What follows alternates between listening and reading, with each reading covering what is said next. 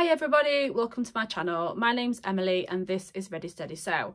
So today's video is a bit of a fabric and pattern haul, which is very exciting. It's been a long time since I've bought some fabric and patterns and done a haul video of any sort, which is, so I'm really excited to do this. I know that they're very popular. I love to watch pattern and fabric haul videos and I'm sure you guys love to watch them too.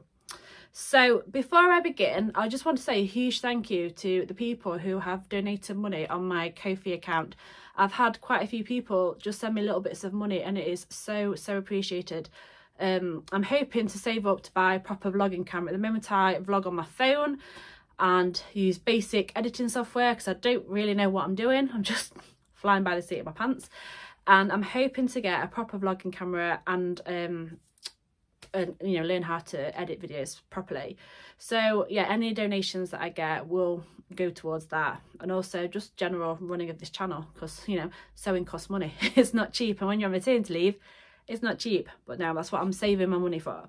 So thank you very much if you have donated. If you'd like to there is a link to my Ko-fi account below but there's absolutely no pressure to donate whatsoever so I've done, I've got a fabric haul for you. It's not a huge haul. It's only like a, a mini haul, I would say. There's four pieces of fabric and I think I've got four patterns. I've got my notebook here with everything written down so I don't forget. Four patterns, four pieces of fabric and um, just a couple of the bits. So I'll start with my bits. Now, I don't know about you, but I quite enjoy cross stitch. I only started it when I was pregnant, so just over a year ago. And I started it because someone got me a cross stitch kit as part of like a Secret Santa or Christmas present. And I'd never done it. And then when I was suffering from morning sickness, lying in bed, like feeling really sorry for myself over the Christmas holidays from school, I, I just thought, oh, I'll do that while I'm lying in bed watching telly. I'll start doing that. And I really enjoyed it because it took my mind off feeling sick. So it distracted me from my morning sickness. So I completed that one. I bought another kit and then I've not done much else with it since. But I do like cross stitch and I'm trying to get back into it. And with everything that's going on in the world, I really want to support Ukraine. I want to do what I can to help. So I have bought some patterns from Ukrainian suppliers on Etsy. So they're digital downloads, so obviously they don't have to post anything out to you. So obviously it's not, you know, that's nothing they have to do. Who knows what's happening to them right now. But I've bought three patterns and I've got several more in my basket on Etsy that I want to buy. So I bought those and they are super cheap. Like one of them was one pound something. Um, I think I think the most expensive one was about three or four pounds. So I've bought three cross stitch patterns, which I will put here for you to see what they look like. And I'm really excited to get making them. And then I've also bought the supplies to make one of them at the moment. I'm just starting one, I'm not getting over my head. So I've ordered it from a shop called Stitchaholic. Now I put on my Instagram a shout out for where to get um, cross stitch supplies from because I've always ever bought kits. I've never had to buy all the supplies separately. And I got quite a few responses. So thank you very much if you did respond to that and uh, really useful. I did check out all the different uh, shops that recommended and there's some really good ones and I've seen a couple of other cross stitch I like to do at some point. But the one I went for was Stitchaholic and the stuff came and it's so beautifully packaged. That's the, is it Aida? Aida? the fabric that you do cross stitch on. And look, it's come a little packet, a little bow, lovely washi tape. And then all the threads and needles I ordered came in this little bag. There you go, there's one, I think there's about eight or ten different threads in here. Ooh, take those out. There's a pink colour, um, a darker red colour, there you go. And then also a lovely little bag of Haribo, which surprisingly I've managed to uh, not eat yet. So that's very uh, a very nice touch. So yeah, so this is ordered from Stitchaholics. I've never heard of them before, but I will be using them and again. And they are one of the cheapest places I found to buy the thread from, the DMC threads. So thank you very much to the person who suggested those to me. And thank you very much for your, all your suggestions. Before I go any further, I forgot to tell you what I'm wearing. This is the Friday Pattern Company patina blouse, which I made in February. Um, I've made it in a cotton from Sew Me Sunshine. I'll have a look if Harriet's got any left. I don't know if she has or not, but if she has, I will link to this fabric down below. But I'll show you a bit better. We'll put a picture of me wearing it here. But it's got the lovely collar. Um, yeah, it's got slightly gathered sleeves. I think I would lengthen it next time I make it, just add an inch or two to the length. But I really like it. Um, it's really comfortable to wear, really easy to sew. Yeah, it's a really nice top. As I say, I'll put a picture of it here. Um, the Petite Blouse by Friday Pattern Company has got a really inclusive size range. It goes from extra small to 7X. I've not got it in front of me to tell you um, what those in, what those sizes are in inches, but I know it usually goes up to about 60 inch bust, somewhere around there. So yeah, that's what I'm wearing. And again, I'll put a pattern there for you to see. Okay, so I will talk about the patterns that I've bought next. Now, before I get into this, I know I said at the beginning of the year I haven't got any money, and that is true. I haven't got any money. I've managed to buy all these patterns and fabrics through a mixture of means. So the first one is I had vouchers for Sew Me Sunshine that I got for my birthday and I've used those to buy the majority of the fabrics. I think I had to put about five pounds of my own money to it which was fine. And then also I've been selling fabrics and patterns on my D-Stash account and I've been selling clothes on Vinted as well. So basically I've used the money that I've made from selling things to buy the rest of the things. So there's one fabric that I bought from another shop and then the patterns as well. I basically use the money I've made from selling things online. So that's how I've afforded these. They haven't come out of my money in my bank already because that's for my bills. They are money that I've made selling stuff. So I will start with the patterns. Now one of them is a free pattern, as I'm sure if you watch the Sew Frugal videos, you will know that Size Me Patterns has very kindly offered their Florence t-shirt up for free if you put in the, I think it's the code Frugal T at the checkout. So I've downloaded that. It looks a really nice boxy t-shirt, uh, quite oversized. I haven't written down the measurements, I do apologise, but um, I will put a picture of the pattern in here and I will write information about it down below. So at some point I'm hoping to make that t-shirt. It probably won't be this month, but I'm hoping to make that soon. So that's a Florence T by Size Me. The next pattern I bought was, I bought it because there's a discount on it and also the proceeds were going to help Ukraine. So Tilly the Buttons had a sale on, I think it was because they weren't going to Stitch Festival. So they had a sale on for that time and they said a percentage of their profits were going to go to the Red Cross or to a charity to support Ukraine. So I've wanted this paddle for a little while. I've been looking at it, looking at the different versions being made, and it looks absolutely beautiful. So I'm excited to make it, and it is the Lyra dress, obviously by Tilly the Buttons.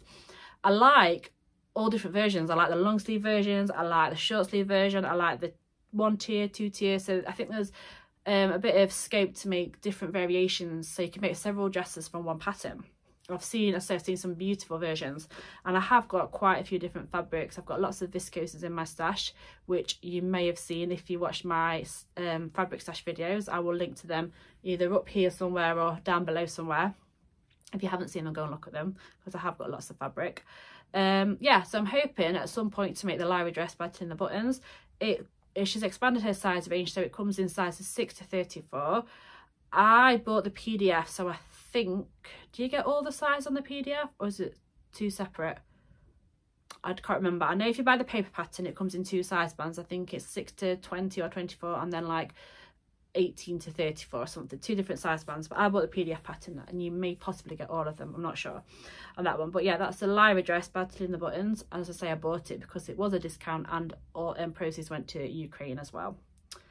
The next one i bought was the heather blazer from friday pattern company. If you watch my March plans, you'll know that I'm hoping to make the Heather Blazer for Sew Recreate the Look challenge on Instagram. I'm making it in a houndstooth um, suiting fabric.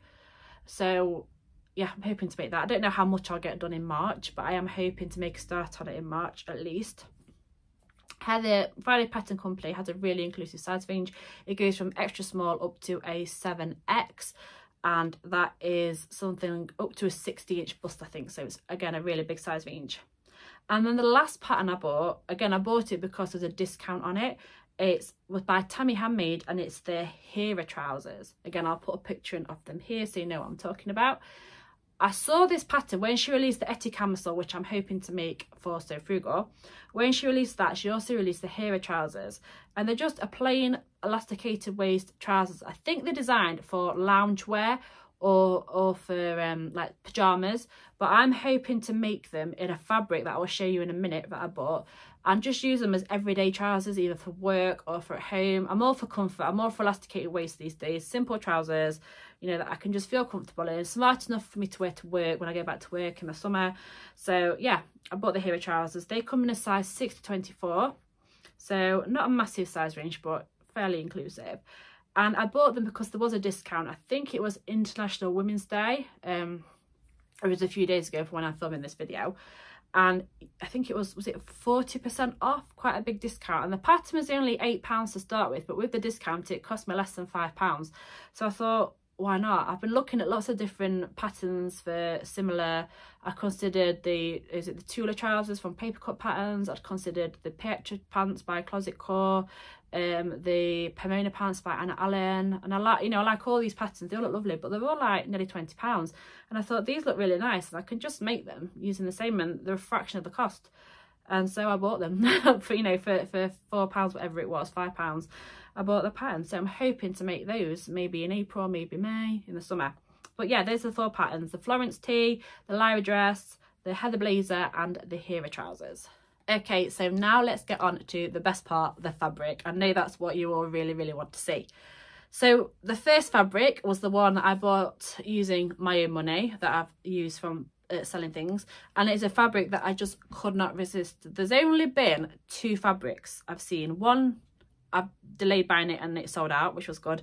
And then this one which I just couldn't resist that I really really struggled to not buy and they're both leopard print obviously but this one you've probably seen it quite a few different shops have had it I got it from Good Fabrics and it is the absolutely beautiful Mind the Maker Urban Leo um, twill. I think it's a viscose twill in the cobalt blue. I could not say no. It's not cheap. Mind the Maker is not cheap.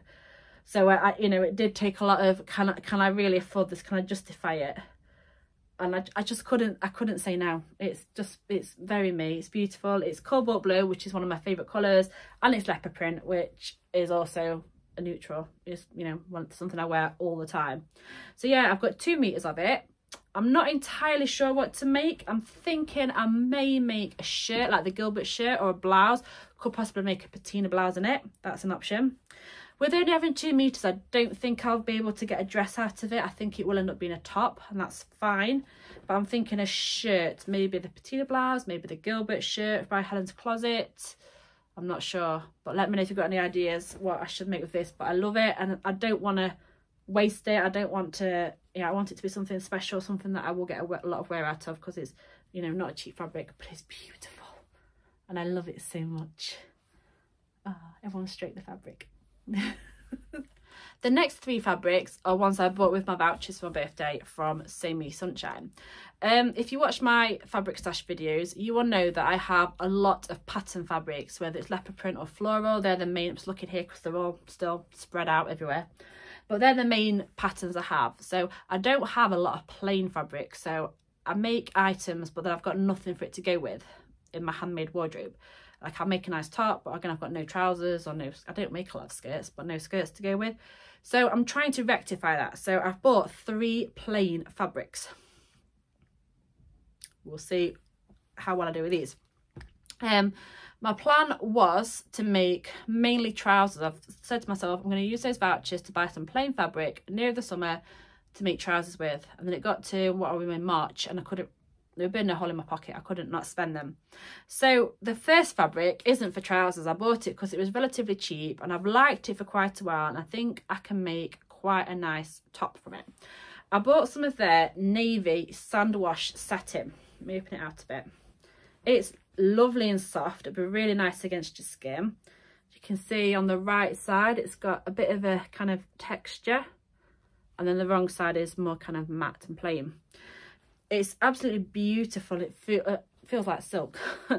yeah, it's really, really nice. Um, I say it's really cheap. It's only a six pounds a meter, I think. And they had it in quite a few colours. And I ha they have had it a while. Um, so I decided to buy some to make up the money on my order a little bit. Um, so my plan for this, I've got two meters and I'm thinking it's either going to be a lining, maybe for my heather blazer, or, because I think it's a bit too nice to use as a lining fabric, although it would be lovely as a lining fabric, or make something like the Ogden cami or the Etty cami or the Sew silk cami top. using this navy fabric. Look at that the light shining on it. Oh, it's beautiful. Lovely drapes, nice and shiny, it's nice and soft. So yeah, that's what I'm planning on making. Either a cami top of some sort, simple summer cami top that I can wear with any thin jeans or trousers, whatever, or possibly the lining of something, but I think it's a bit nice for a lining fabric. The next fabric I bought, I bought it because again, it was relatively cheap and I wanted to make, again, I want to make some kind of comfy, elasticated waist slouch trousers. I'm not sure, I mean, I think I can get trousers out of it, but I wasn't sure if it's going to be a little bit too lightweight. But I bought two and a half metres of this khaki viscose twill. It's really nice. It's nice and soft. It's, you know, it's like a viscose, but a bit heavier with a twill weave running through it. Hold it up to the camera so you can see it a bit better. if you can see the twill weave there. But yeah, so that's what I've got, two and a half metres. And I thought I could make, again, something like the Hena trousers with it or another pair i've got the miller trousers by paper theory in my pattern stash so i could make another pair of those i think it would work i think you could make trousers from it it is completely opaque hang on let me just double check that. It's relatively opaque. You can see a bit of light through it but it's not um see-through see-through. So I could make trousers with it or the alternative was I could make maybe the lyra dress with it. I could maybe squeeze a lyra dress out of it if I decide it's too lightweight for trousers. But initially I did think trousers, possibly a dress. But again, I've got a neutral colour, a plain colour, because I do like khaki. Black, navy are like my go, or grey. Black, navy and grey are my go-to kind of plain colours. But I do actually like a bit of khaki and it's adding just a little bit more colour in my wardrobe without it being too bright. But yeah, so I've got two and a half metres of that to use up. And then the final fabric is for trousers. And I've just got some plain black linen. I thought with summer coming up, it would make a lovely pair of trousers. It is obviously linen, so it's not got a lot of drape to it. Again, I was thinking of making the Hena trousers with it or some sort of trousers. I could possibly try and get a jumpsuit, maybe the Zadie jumpsuit, which I've not made yet out of it.